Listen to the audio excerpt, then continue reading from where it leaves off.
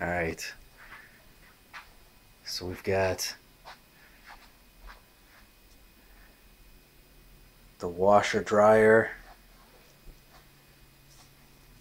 And these look like cabinets, but lo and behold, it's a refrigerator. And another little one, which I'm assuming is a freezer.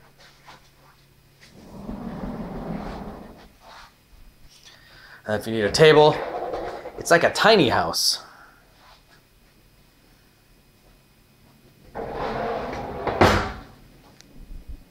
Let's see what's in here. Nothing. Let's see what's in here. We forgot to buy tea and coffee. I think I got some though. All these cabinets are awesome.